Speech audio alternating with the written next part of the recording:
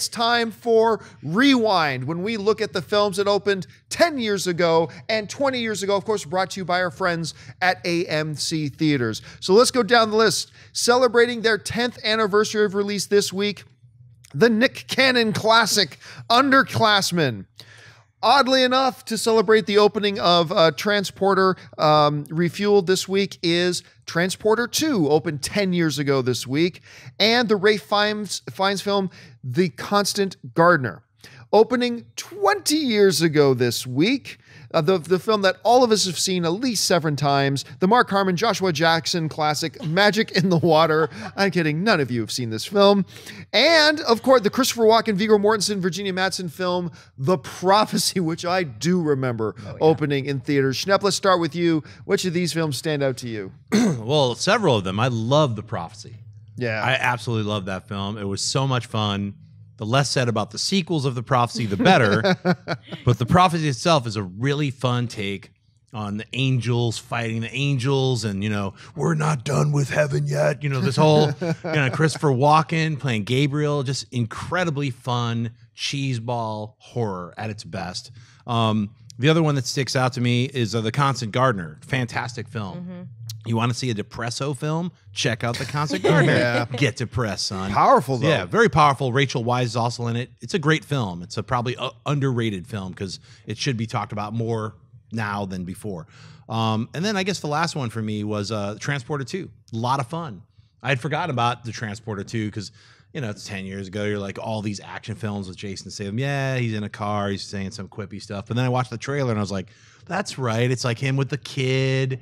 You know, he's got to watch the kid, and there's that crazy chick who's like shooting at him, and it's like it's really well done action scenes. And then it made me think back, oh yeah, and he's always having like these little tea time talks with that one French detective that he becomes friends with from from the first Transporter.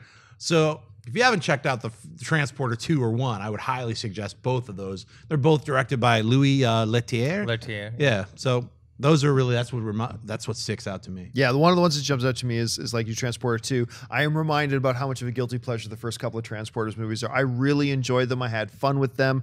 Um, where that series has gone now is another issue altogether, but I really did enjoy it. But Magic in the Water is is one it kind of embodies it was a 1990s film granted but it was like it fell, followed that formula of a 1980s you know the kids got to gather together to try to figure out a way to save the community center kind of thing right? It's about this family goes to this lake and whatever and, and they discover there's a mystical creature that lives in the lake but the mystical creature's life is in danger. Why? Because the evil corporations are dropping toxic waste into the lake. It's gonna kill him mark harmon a young joshua jackson.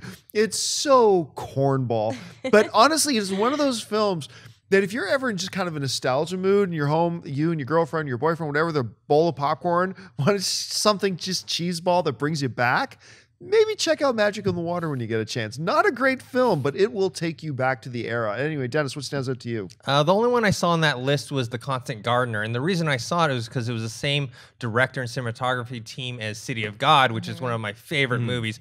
I like The Constant Gardener. I didn't love it. Uh, one, yeah, it is very, very depressing. Great performances.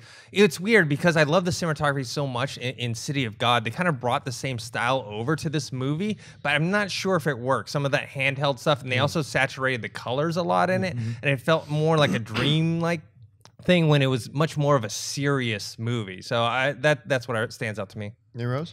Definitely the constant gardener. Um, Walk-ins welcome at all times. all times. Favorite man ever. Um, and uh, what was the other one? Underclassman, obviously. I have no idea. I have no idea. I've Which never seen that launched the film. career of Nick Cannon's It's a cinematic. legacy. Um, yeah, Constant Gardener is definitely. I mean, Love is always depressing, so of course they're gonna. But Weisz and Fiennes together talk about star power. Oh, the yeah. chemistry, the intensity. It's it's definitely a classic. The other ones, I can't say I've seen the Joshua Jackson film, which I feel a little sad admitting. Pacey, I'm sorry I let you down. Um, You and everybody else. Don't worry about it. Don't feel bad about that at all. Yeah. So I, w- I was gonna say Magic in the Water. I was looking at that poster and I was like, "What's he sitting on a whale? Is that some kind of it's, weird uh, rock?" Loch, Loch, Dinosaur. no, Loch Ness monster. No, I know. And then I, when you mentioned that it was like some kind of Nessie, Bessie, little baby, and I was like, "Oh, I know what it looks Nessie, like Bessie from seeing baby. all those special effects books that I would buy 20 years ago." I was like, "I know what that creature looks like." Never saw the movie. Didn't even know with Magic in the Water. What is it about? What a weird 90s It's the prequel title. to M Night Shamhammer's Lady in the Water. Right.